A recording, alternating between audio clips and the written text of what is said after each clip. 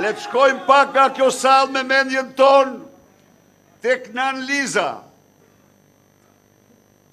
tek nana heroike, që donte të flijohet, të flijohej për të mbrojtur votrën e saj familjare,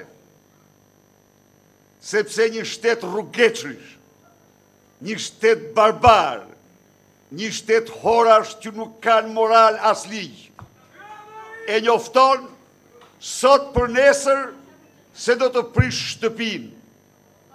Miqtë e mi, në çdo vend qeveritë shtetet bëjnë plane prishin Banesa hapin rrugë, ndërtojnë blloqe të reja, por të gjitha këto bëhen duke respektuar me rigorozitet ligjet dhe drejtat e qytetarëve. Nuk mund t'i shkosh si pushtues i egër tjetrit me ruspa dhe buldozier për t'i prish shtëpinë në një kohë kur je i detyruar në çdo ligj në kartën universale të drejtave të njeriut t'i garantosh strehimin je i detyruar të biesh dakord me të aty ku po prishen ato shtëpitë atyre qyetarëve Po ndërtohen kulla tridhjetëkatëshe. Shikoni se ç'bën babëzia e njerëzve të pashpirt.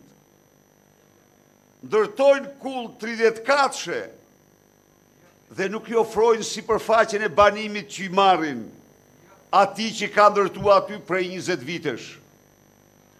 Në çdo vend të botës, në çdo vend të botës, Prona mbrohet me ligj, por në çdo vend të botës, posedimi i saj gjithashtu mbrohet me ligj. Dhe ai që e ka aty shtëpinë prej njëzet vitesh, i ka lindur disa drejta dhe atij. Dhe ato drejta shteti nuk mund t'ia mohojë.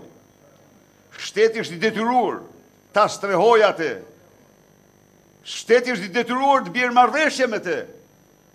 Shteti është i detyruar në qoftë se ai insiston, t'i japi po aty strehim.